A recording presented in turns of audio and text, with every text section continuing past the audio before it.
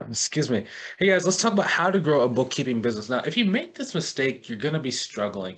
Now, let's kind of even take a step back. So, the number one mistake I see most people doing is they focus 100% of their effort on like marketing, right? So, they think that in order to grow the business, they need to get more leads and then you get more consultations, more potential clients, more people working, you know, with them. And it generally comes from a place of if you don't know how to get the clients you already have or the leads that you're already going to pay you the most amount of money possible, it does require you to focus on marketing so much heavier.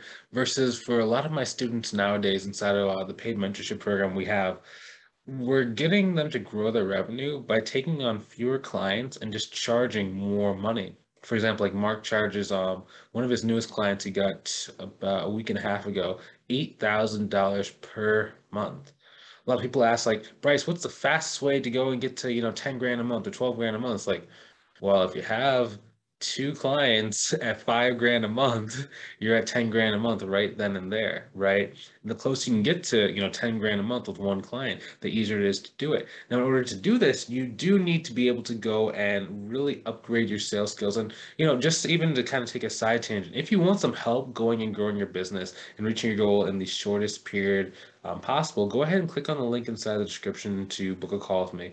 Um, and then we can just see like, is this program the right for you? Like, can I actually help you? And is it the right choice for your family, your future, and your goals? Um, if so, we could work together long term. Um, and I'll see you inside of the call. Just go and click the link in the description above or below. Um, we'll talk later. Um, so that's you. I'll see you on the call. If not, you're not ready yet, that's okay too. I'll see you on the next video. Have a great day.